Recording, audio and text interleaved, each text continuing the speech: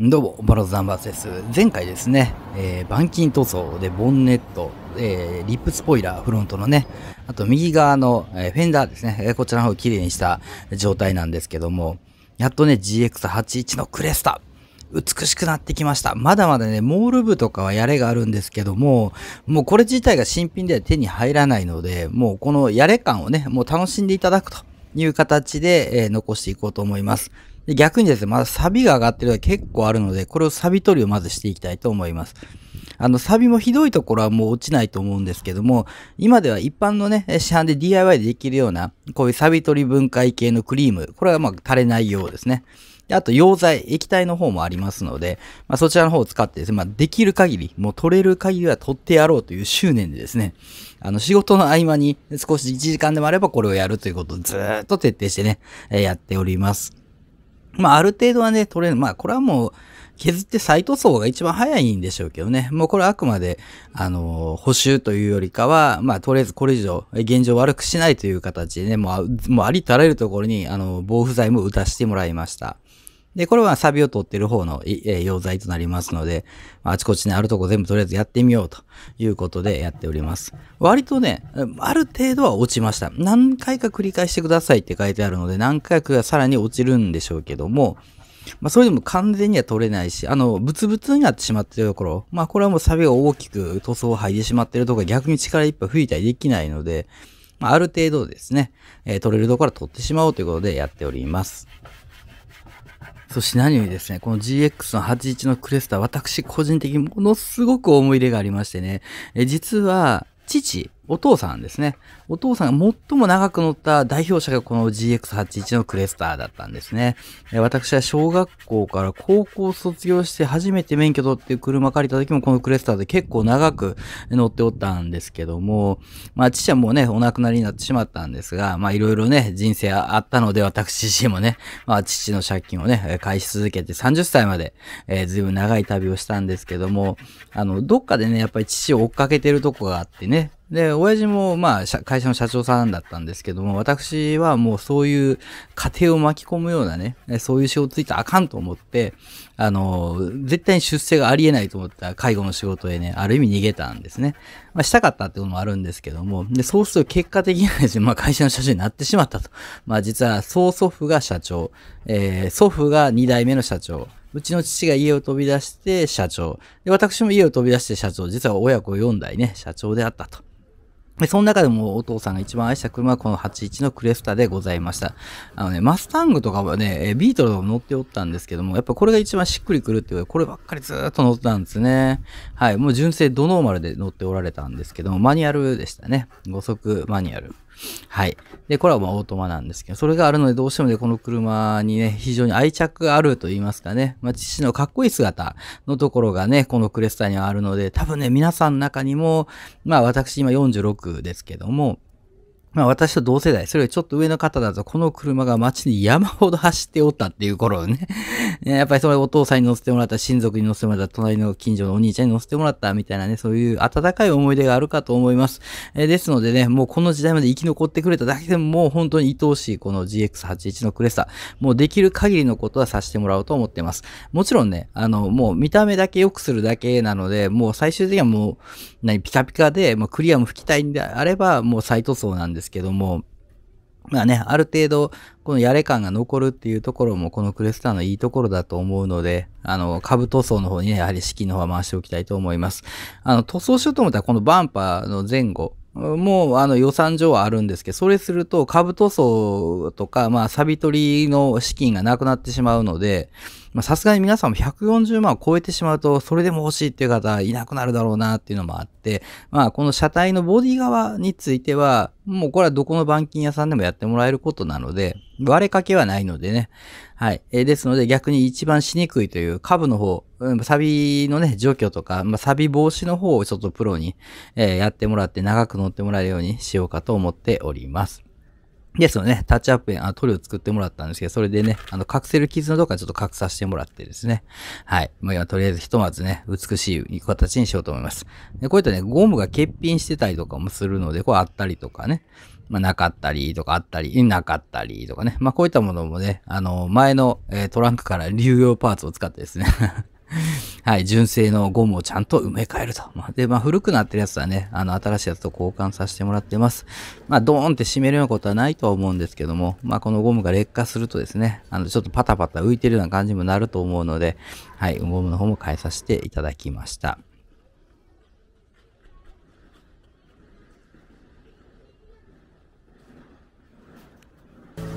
で水垢取りのポイントだけどこれと完全に新品塗装やねでここはまだ洗ってない、はい、でここのバンパーのこの部分のくすみ取り、はい、だやる場所は少ない。いやこっちに近づけていくっていう練習ができたらいいし、まあ、この辺は僕後で塗装も埋めちゃおうと思ってるから。めっちゃこうこう飛んでくるから。後ろと前がメインになのかな、はい、で両サイドは綺麗にしてあるから。もしあったら一緒に撮るはい飛んでるやん。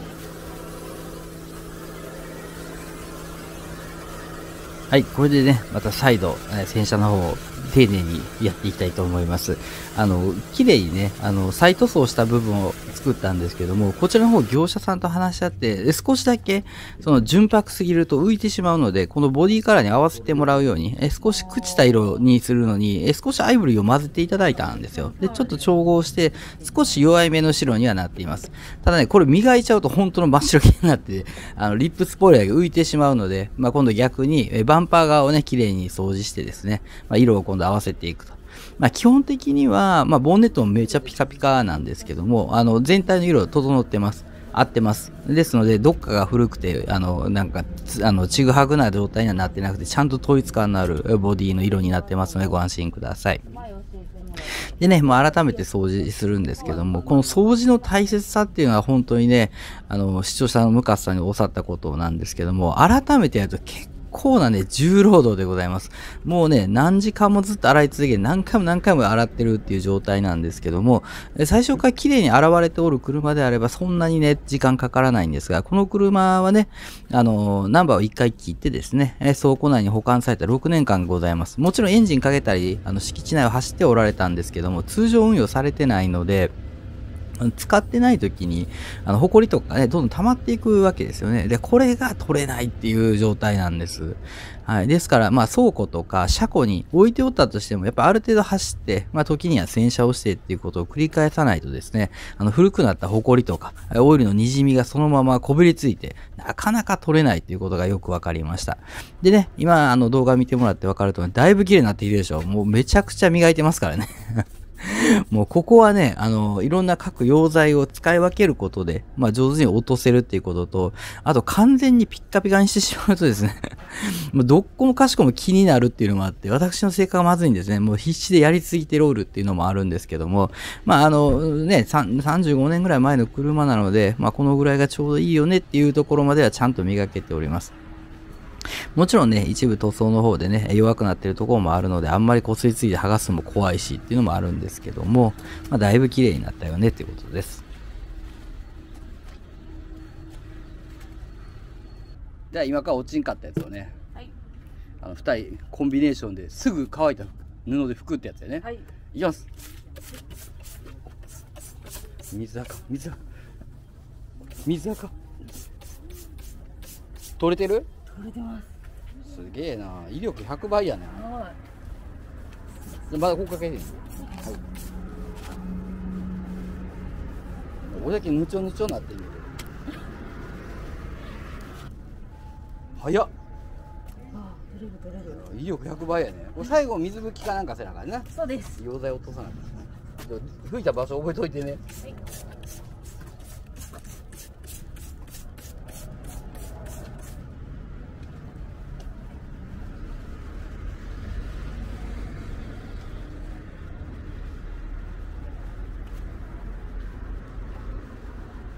強くやらんでも取れる？もう全然強くやってないです。もう拭き取るだけっていう感じでえー、ダメなとこだけ？はい。ちょっと強め。の方が取れますね、うん、うわ綺麗になった。すごい綺麗。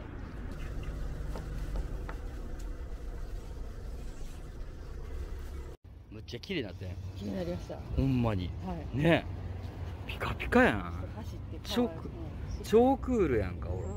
この天気をわざわざ選んだんやね。曇りのち雨ぐらいのね、うん雨降れんかったけどね。じゃあ寿司ごちそうしますよ、ありがとうございますやった。って。いやいつもやん。いつも怒ってますやん自分でしかも新鮮や言うとって。んはい。うんでこの宝塚行くんやろ？はい。あどこのお金持ちやねん。運動だった？はい、いい運動になりました。食べる前の運動。あー。で宝塚で寝んのじゃん。もったいな、それはししないように。うんはいじゃあ、えっと、新鮮やですはいじゃあ入りましょう寿司屋来ましたけどはい。めちゃ幸運にもダブルオーやほんまや。でってそうすれちゃいます。ちゃうやつちゃいます。ミッションインポッシブルありがとうダニエル・クレイグではなかったはいトム・クルーズちゃんい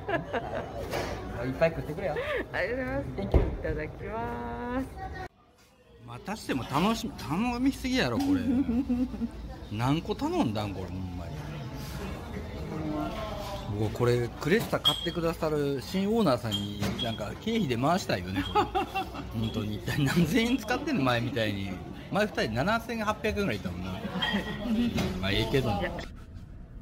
まあ、こうしてですね、えーたくさんのスタッフにも付き合っていただいてですね、はい、あの動画を撮りながらですね、洗車を続けておると。で、今度はピカールですね。これもね、まあまあ、どうしてもね、まあやっぱ金属部っていうのは錆が上がったり、もう黒ずんでしまったりして、まあ全部が取れないには取れないんですけども、まあ、ある程度復活させていくっていうことでは、このピカールなかなか使えるんですよね。はい。なんか、あの、1回、2回、5回とややり続けるとですね、だんだんだんだん、その、下地が見えてくる感じなんですね。はい。で、まあ、このプラグのら辺とか、まあ、後でもう一回ね、先に、あの、砂とかも残ってたんで、あの、拭き取りの方を先やらないとできなかったんですけども、まあ、その、まあ、もう全部下ろして、洗ったろかと思うぐらい、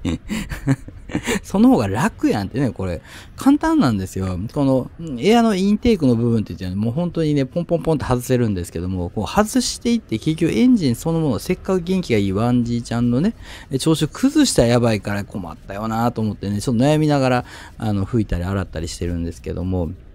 まあ、こちらのエンジンの方はですね、もう少し水源が豊かな場所ですね、何時間かけてハケでまずきれいに汚れを落としてですね、で、その後に、まあ、ピカールもう一回行ってみて、まあ、あの、まあ、削るとかまではちょっと考えてないんですけども、あの、樹脂パーツ系とは別にですね、ゴム関係多いので、まあ、そのゴムを一個ずつ磨き上げてですね、まあ、コーティングもしておこうということで、えーこれは最後の作業に残しておこうということで、空いてる時間はね、こうやってあの、とりあえず埃取りとか、ゴミ取りとか、まあ、試し拭きとか、まあ、そういうの一生懸命ね、とにかくこの 1G を光ら光らしてやろうというね、熱い思いでやっておると次第でございます。なかなかね、腰が痛くなるのもこれ事実なんですけども、あの、部品をね、こう、やっぱり大事にするっていう意味では、このエンジン内がやっぱり美しいのは非常に大事やっていうことをね、教わったので、まあ、やはり妥協できずにですね、まあ、その取れない分は仕方ないにしても、取れる分はやっぱり取っていきたいっていうのでね、はい、達成感を求めてずっとやっておるということでございます。本来私、介護の仕事をしてますので、ヘルパーの間にね、必死で、あちこちで止めてこうやってやってるわけですね。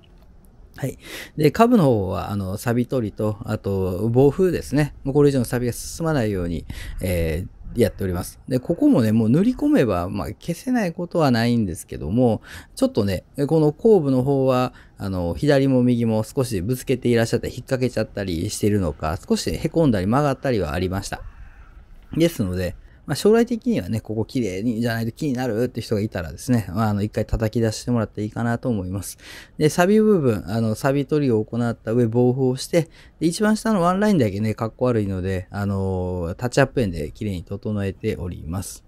あとはね、そのまま残しておくことにしました。あの、何でもかんでも塗りつけて、もう見た目だけよしよりも、あ、こういう傷があったんですよっていうことをね、次のオーナーさんにお伝えしておきたいっていうのもあるので、で、あの、溶剤残してありますから、それ使ってね、やってもらったらいいかなと。これですね、これちょうど左側の部分ちょっと凹んでるでしょ。ここがもったいない。ちょっとね、手で引っ張れるかなと思って、右側ある程度整ったんですけど、左側触るのもやめました。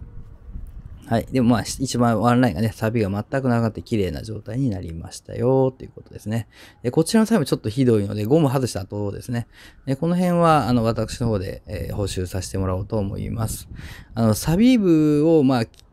まあ、ヤスリ等々でね、はい。ペーパーで削っていくと、まあ、綺麗に塗れる、塗り込むことはできるんですけども、まあ、大掛かりになって広範囲になってしまうので、あの、凹凸のない部分だけを補正させてもらいました。で、塗料を塗ってる間、乾く間にですね、またこの脇をね、拭き続けると。まあ、この黒ずみは何回やっても取れへんところなんですよね。まあ、これは多分ゴムと当たってるところなんかもしれないし、埃が溜まりやすかったのかもしれないし、まあ、ここだけゴムが当たってだんだんね、ゴムの色がそっち側に移った、ドア側に移ったっていうことともあるかもしれないんですけども、なんか変にね、取れないんですけど、それでもだいぶ綺麗になってまいりました。これも繰り返す反復攻撃が大事なんですね。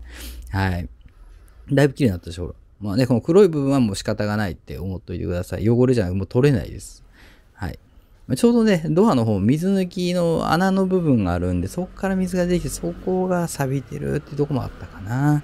まあこういう作りはね、まあどの車も同じなので、まあ水ね、抜けなかったもうパンパンになって最後、えウィンドウの上から出てくるようなことになりかねないので、あくまで水抜きがあるということでございます。だいぶ綺麗になりました。もうこれ4度目ですけどね、ここの脇やるの。はい。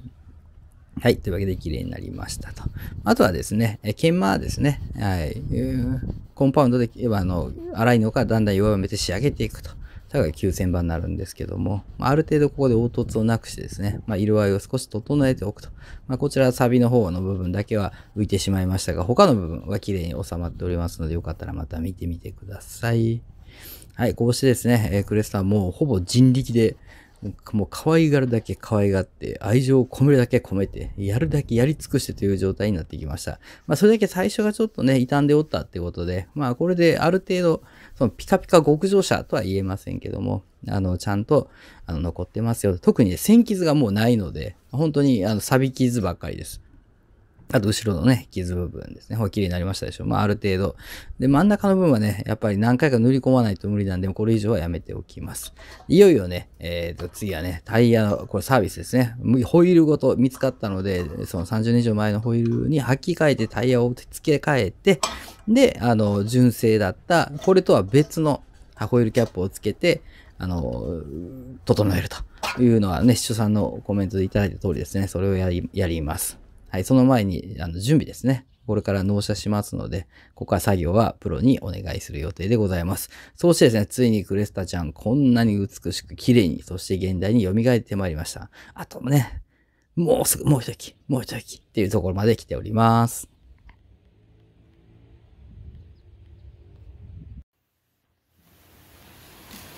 多分タイヤが古いんですよ、もう。14年ですね。ああもうダメですよね。はいそうですね。やっぱタイヤ入れ替えてもらって。はい。要はこのホイールキャップに変えたいわけなんですよ。あなるほどね。はい。であれだとはまらないんで。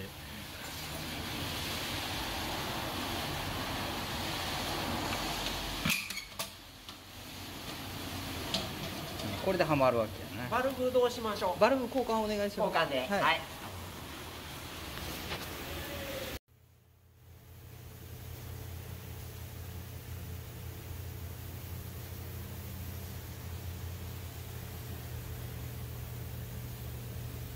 はい、そしてですね、プロにお願いしてタイヤとホイールを交換してまいりました。タイヤも入れ替えておりますからね。はい。で、さらにですね、えっ、ー、と、手に入れたホイールキャップですね。こちらが純正のホイール。さっき前のやつも純正ホイールキャップなんですけど、こちらが正式なスーパールーセント用の純正ホイール。もしも皆さん、そう、これ。ね、これでしたよね。懐かしいな、親父を思い出します。あの、コメントをいただいたね、えっ、ー、と、白井さんと小林さんありがとうございます。これにわざわざ入れ替えます。すごいでしょこれ一つも使ってないんかっていうぐらい傷がないで割れがないんですよ。驚きましたね。この状態30年以上残されておったと。で、このホイールを買った時にですね、クレスタ用でちゃんと買っておりますので、もともとホイールキャップも付いております。これはもうボロボロなんですが、えこちら4枚もですね、補修用として残しておきますので、え皆さんに差し上げます。はい。で、これはね、もう割れてるから取るのがすっごい簡単だったんですけど、新品の方は丁寧に入れる上に全部のね、あの爪が残っておるので、結構跳ねっ返りが激しくて大変でしたね。なかなかね、入れる方はね、かなり丁寧に入れないと難しいと。はい、そういうことでございます。でもね、実際この古い方でもうボロボロなんですけども、このホイールキャップ見たときに、あ、おっしゃっていただいた通りだなって、視聴者さんに僕の車は守られているなとすごく感激しました。あのー前のその、ホイールキャップを否定してるわけじゃないですよ。前の、レあのー廉価版の方も僕好きなんですけども、クラウンとかのね、タクシーもついてるようなやつ。でもこっちはね、パチーンとはまるんですよね。足元がスッキリって言いますかね。まあ、スーツ着ててスニーカーやとちょっと違和感感じるでしょ。で、スーツ着てちゃんと革靴を履いたと。まあ、そういったところでね、一手間かけさせてもらいました。当然こちらの方は私の個人的なこだわりと視聴様のこだわりを合致させただけなので、費用は一切いただきません。タイヤの組み替え代、えーあと虫ゴム、ああの、タイヤのね、えーゴムのとこですね。はもうこちらの方で交換させてもらってせっかくなんで、でタイヤはあの前のタイヤをそのまま入れ替えただけということでね、あと洗浄もしておきます。えーこれも視聴者さんのムカサシステム作動ですね。もうこんなもん隠れてるから見えんだろうじゃなく、ここだからこそ一回は掃除しとこうかということですね。あの、溶剤ね、教えてもらったホイール用のやつもあるんですよ。これがまあ、綺麗に取れるんですね。最初ね、ホイール買ってもう傷だらけであかんで、みたいなことをね、前の回で言わせてもらったんですけど、もうほぼ取れたんですね。ですから、あの、この純正の、えーっと、ホイールキャップですね。これを、まあ、タイヤの交換とかでね、やっぱ外すじゃないですか。その傷は取れません。やっぱ傷ついちゃうんですね、このキャップはね。で、それ以外はですね、あの、汚れとかほとんど取れたんで、ガリ傷もなく思ったより綺麗でした。ちょっと驚きました。えこうしてね、新しい技術を皆さん見ておられる方々がね、いろいろと直接教えてくださってですね、まあその通りにやっていくと、やっぱりいい車だよね、と。はい、そういったところでございます。はい、こちらのホイールかなり美しい、ほぼ使用感がないと。まあちょっとね、塗装の一部はこの位置まで欠けておったんで、一番後ろの、え右の方に付けさせてもらった。あとはほぼ無傷の状態というね。はい、まあ恐ろしいですね。こんなんあるんや、みたいなところでね、ちょっと驚いてしまいましたが、はい。で、あの、足元をね、すっきりスーツに革靴を履いた、えー GX81 のクレスタなんですけども、後でね、最後の最後でちゃんと、あのー全体も映しますので、よかったら本当にね、マッチング見てもらって、やっぱりこうじゃないとダメだよねって、その、白井さんもそうなんですけども、あの、視聴者さんの、そのプロの目線って、やっぱ言っちゃってるんでね、車好きとして。だから、まあ、おおむね採用してる、基本全部採用して、なんか一部ね、ふざけたことを冗談で言ってきてね、シャコタンローダウンでなんていうね、人さんもいるんで、そんな、分かっててわざと言ってきはるんですけど、まあ、それはしません。はい、しません。あくまで純正フルノーマルを目指しておると。で、中にはね、やっぱりこう、近代装備として ETC とか、例えばドライブレコーダーですね。もしくはデッキといったものは、私の方で頼まれてつける場合と、あとご自身で後でつけてもらって結構だと思うんですけども、まあ、出航するときはですね、皆さんのお手元に届くようになるべく純正にしておくと。で、こっからもう一度いじり直す楽しみもあるじゃないですか。でも、一回ね、ホイール変えてしまって、その純正ホイールいらないやって、置き場所ないやって、ポイしたり、上げちゃうとですね、次そのホイールを探すのはすごく大変なんですね。ですので、私の名車再生は元の原型に戻して、あホイール変えるならどうぞご自由におし、ね、皆さんのそれぞれの趣味で交換したらいいことなんで、全然改造してもらっていいんですけども、このホイール残しといてという意味で、わざわざこの一手間二手間をかけるんですね。ホイールキャップとホイールを残しておけばですね、いつでも、もしどなたかね、やっぱそれ乗りたいなんていう話が出てこればですね、えーじゃあこれつけとくわっていうと、このクレスタちゃんがね、ずっとこのまま生き残っていけると。まあ、そこをね、ちょっとご配慮いただけると、もうクレスタちゃんもね、もう人格持ってると勝手に思って車格っていうんですかね、まあよくわかんない。まあまあまあ、やっぱみんなの思い入れがあってですね、えっ、と、タイヤの交換ね、無理なお願いし、タイヤの入れ替えの入れ替えをお願いしたね、業者さんもいらっしゃった、あの、ちょっと映像出てましたでしょで、あそこでもね、最後ね、あのー二人の方が、あの、ずっと車から離れなかったんですね。そしたら、これはいい車だから絶対大事にしてくださいね、つって、あの、言われて、えどうして？つって、いや、これ、親父がの、懐かしいな、大事にしてくださいね、大事にしてくださいねって、結局整備手伝ってくれて、あの、1時間ぐらいかかる予定が、たったの20分で終わるというね。はい、そういうこともあって、やっぱ人の心を動かす思い出の車としてね、このクレスタちゃんは、もう GX8 のクレスタ素晴らしいんですね。はい、もうほぼ無傷のこのホイールキャップ、どうですか？いやいやいや、やっぱこれ当たりですよね。この日私ですね、夕方入浴の介護がありながら、午前中はですね、いろいろ介護があって、スーツを着ておったんですけど、もう時間がなくて、そのスーツを着たままやるというね、もはや執念の人なんですね。あもう服汚れるやんって、この一丁らがね、もうそんなこと関係あるかと。やっぱりこの皆さんと一緒に作ってるこの名車再生の GX81 のクレスター、特に皆さんの愛情深く感じております。あの、多分ね、今までメルセデスで W124 とか201とかね、あの、アルファメオも続きましたけども、多分あの、お父様とかご近所のお兄ちゃんでいいよ、乗って、乗せてやるよ、なんていう人の中でそういったとんがった車よりかは、多分このクレスタはどこにでもいたっていう、そういうね、車歴があるんでしょうね。私の父もそうでしたからね。はい。ですから、なんか愛着湧いちゃうみたいなね。あなんかもう、一般大衆車の中で多分、このね、マーク2、チェイサー、クレスターのこの GX8 の3兄弟は多分最も出荷されてるトヨタの名車、屈強頑強なワン、ね、1G のエンジンに、シャーシ頑丈で、まあ、サビ回りますけども、でも山ほど見ましたよね、これね。はい。あ、ちょっと思い出、ね、吹きりすぎました。これ4枚ね、プレゼントいたします。また補修で残しておいてください。え中央ホイールキャップ、ホワイトのね、あのー、塗装がなされておるメッキタイプなんで、これがもし、まあ、だんだんね、傷んできたあっちの黒に切り替えてもらってもいいかなと思います。綺麗に収まりました。クレスタでございます。見てください。足元ね、これからね、これじゃあ見にくいなと。でちょっとね、いい格好して車を出してですね、皆さんに一番いいタイヤの向きで見せようと思ってね。はい、さらに鎮座増します、前々のね、えー、純正のホイールこれも4枚プレゼントいたします。これは希少ですよ。気分転換に交換してもらっても結構だと思うんですけど、まあ、ホイールは確実に傷つきますので、なるべく回数減らしてほしいなとは思っております。はい、こんな感じでね、今からね、ちょっと車出します。出します。見ててくださいよ。どんだけかっこよくなったか。いや、やっぱね、本当にね、これは言ってもらってよかった。見てこれ足元見てギャーあっとるこれね、あの、僕も考えてね、ちょっとタイヤの切り替え位置をちょっと変えようかと思ってね、ちょっと出したり入れて、これ見てくださいね、ほら。ちょっと見えるようにね、ぴよっとね、右側に曲げておきました。はい、全体のマッチングを見てみましょ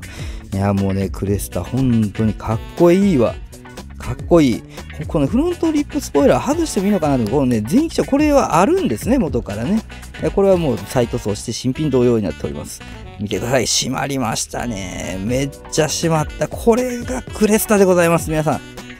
暑いなあこれ。感激。なんかもうねメッキが光ってるやんってもうこれも嬉しかったんですよね。本当はもうキャップしまいたいんですけどもう汎用品使っといくことがね純正まだあるか。あの古い方をはめておきたいぐらいなんですけどちょっとねお披露目会ですね。見てください。もうほらあー綺麗。きたー。ギャー。